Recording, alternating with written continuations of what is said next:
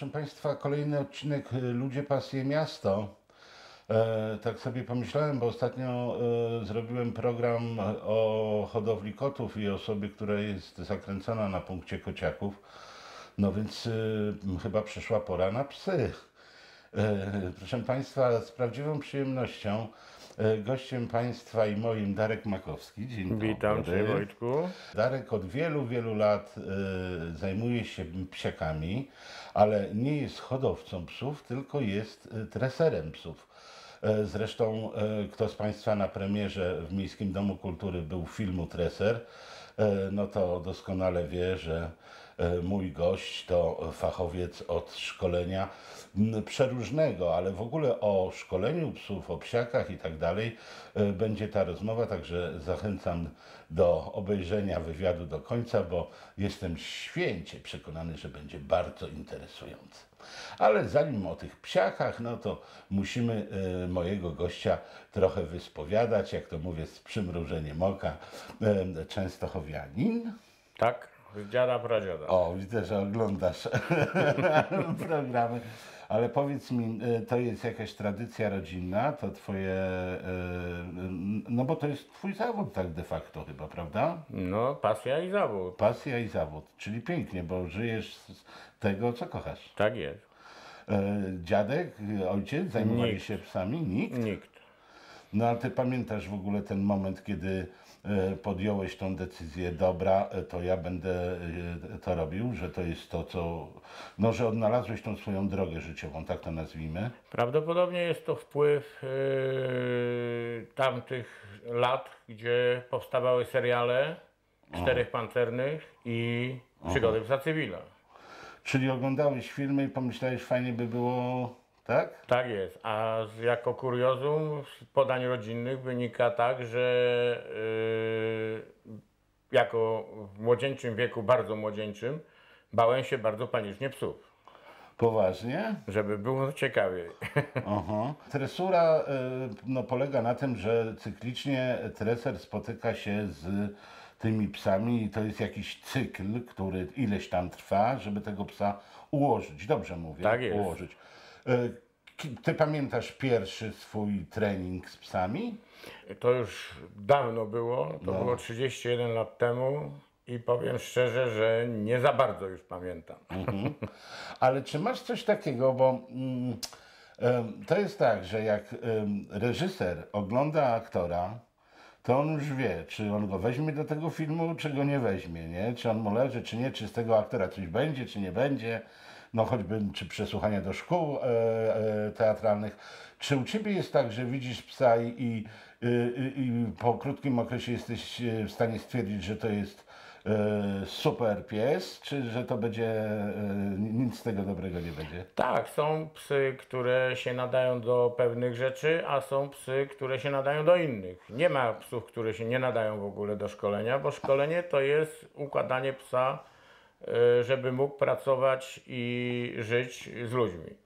Więc to jest, każdy pies się do tego nadaje, a psy specjalistyczne, służbowe, które są specjalistami w swoich dziedzinach, więc tutaj y, trzeba wyselekcjonować, wyselekcjonować dane umiejętności. Ale mamy tak, że wiemy na przykład, jak widzimy służby specjalne, nie wiem, na lotniskach, że to są albo labradory, bo mają świetny węch, albo owczarki, czy owczarki belgijskie, tak?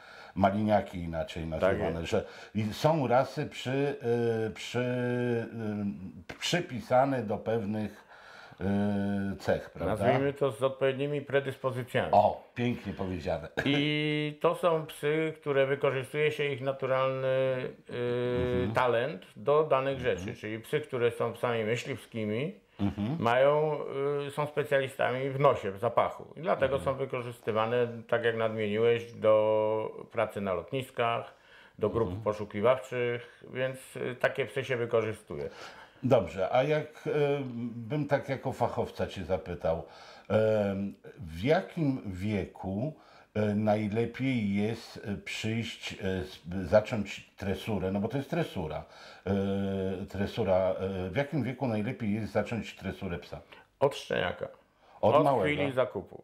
Poważnie? Tak, bo jeżeli y, psa nie przystosujemy do podstawowych rzeczy, nie nauczymy go jak najwięcej, największych bodźców do szóstego miesiąca życia, y, już nie jesteśmy w stanie tego nadrobić później. Ten pies się najłatwiej przyswaja, najwięcej się uczy do szóstego miesiąca życia. Aha, czyli ładuje komputer do szóstego miesiąca, jest. a potem to wykorzystuje. Jak to zaniedbamy, to, To- później jest ciężka praca, żeby w ogóle go coś... Znaczy, no nie jest to ciężka, jest to Dużo po prostu 80% nie nadrobimy y, tych y, straconych właśnie miesięcy do szóstego miesiąca życia, a jesteśmy w stanie, tak jak powiedziałem, 80% przyswoić psa do danych sytuacji, ale i te 20 zostają już zmarnowane. Są psy, które szukają narkotyków, y, szukają ładunków wybuchowych, no ale chyba najczęściej to są psy, które y, uczestniczą w polowaniach, czyli aportują kaczki i tak dalej.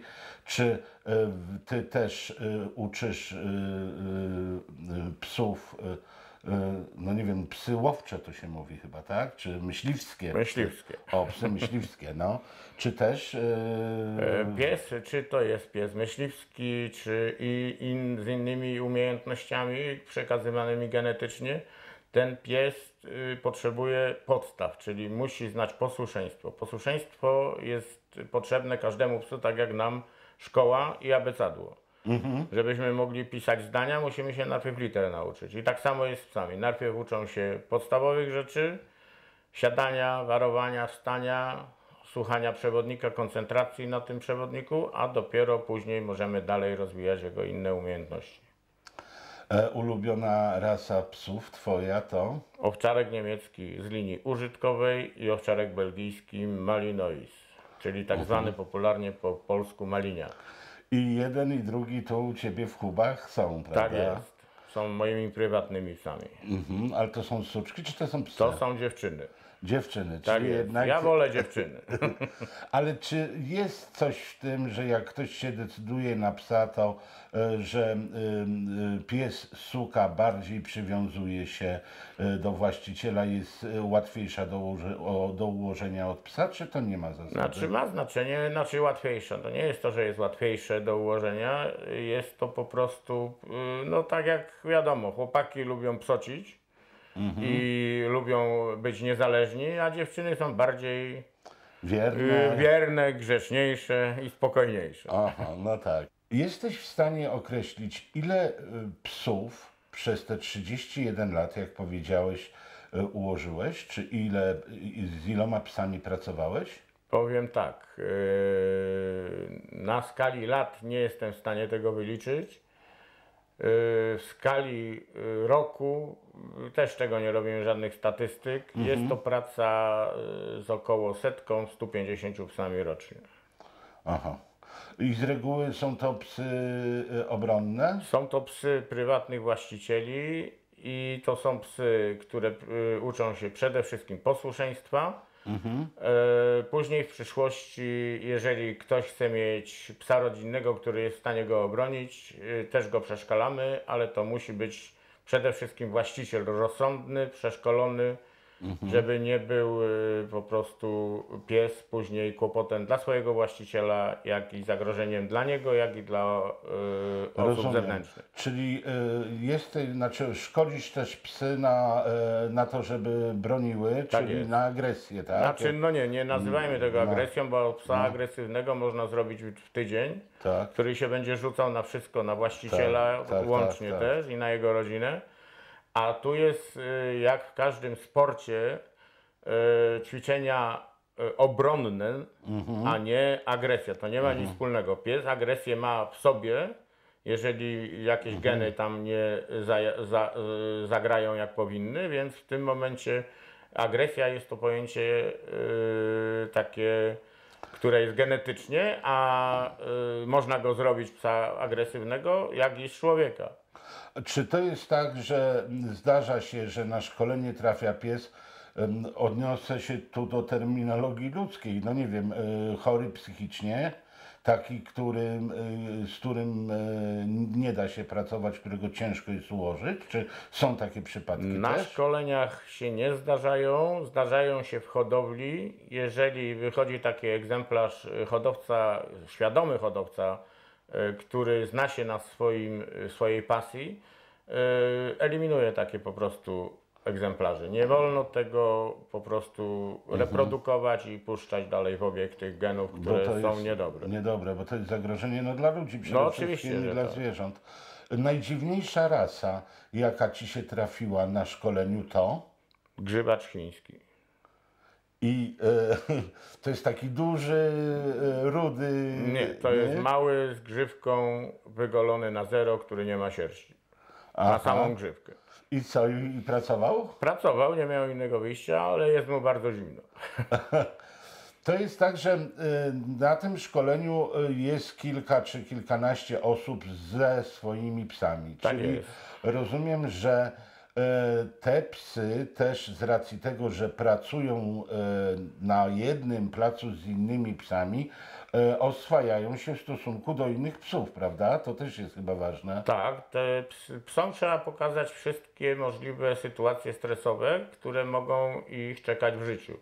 Więc y, przyzwyczajamy psy właśnie do innych ras, do innych osobników, przyzwyczajamy do innych ludzi.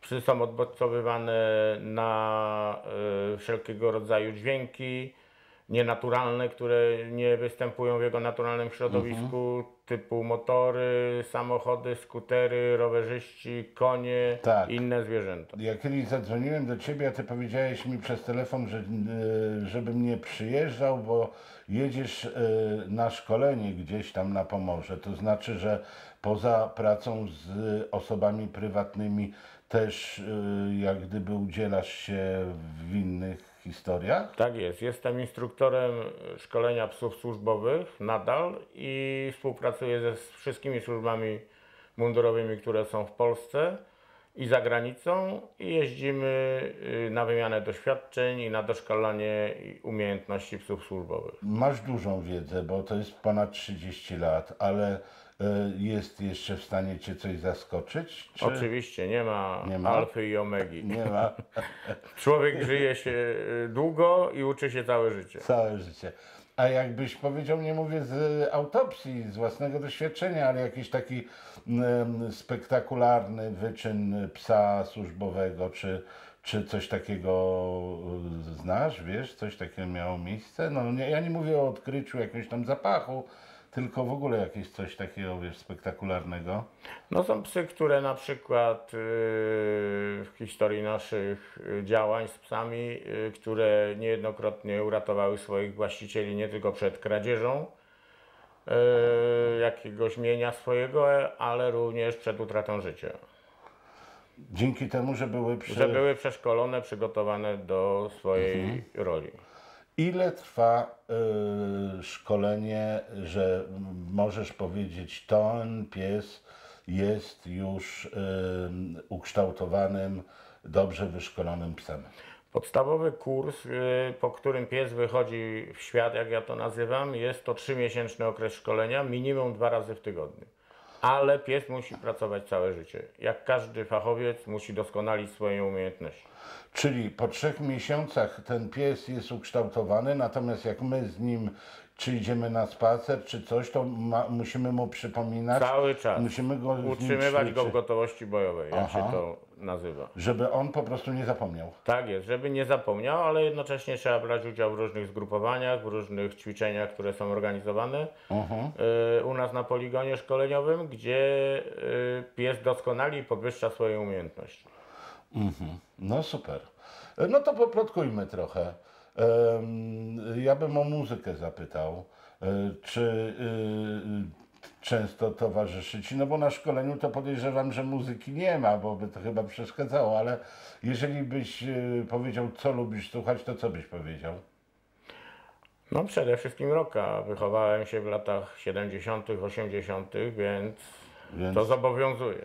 polski rok, Oczywiście. perfekt manam, tak? To oczywiście jest przede sprawa. wszystkim mana. Manam.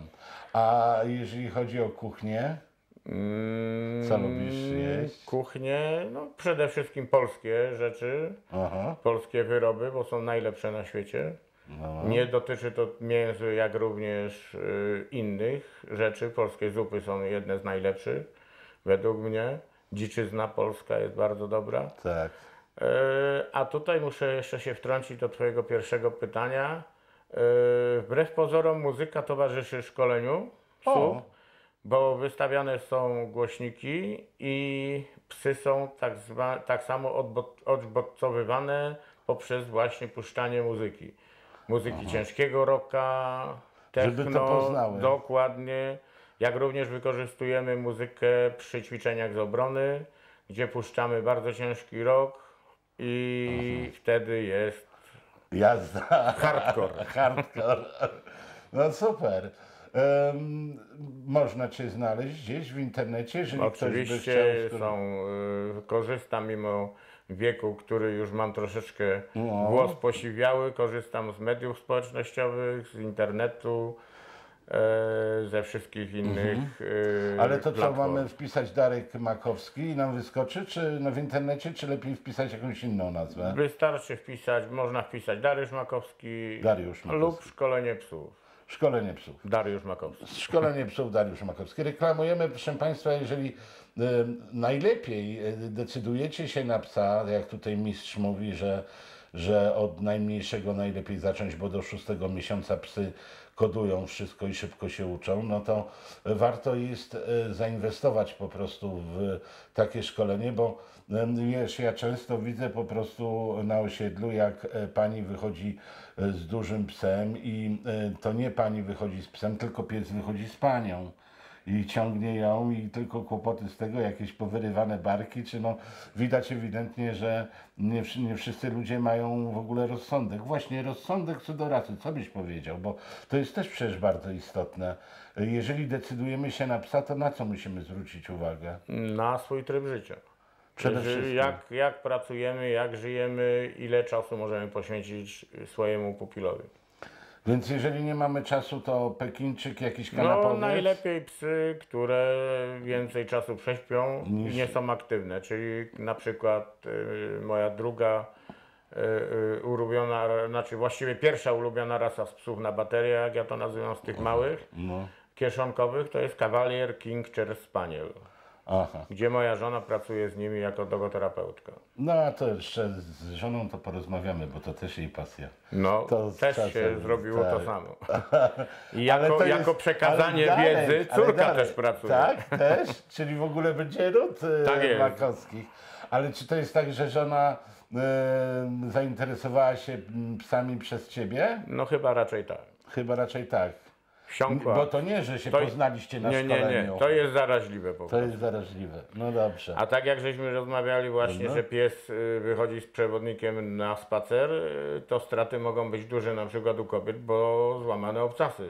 No tak, tak, tak. Ale to jest bez względu na rasę i na y, wzrost psa, bo te małe też potrafią być groźne. Pociągnąć, tak, Dokładnie. dokładnie.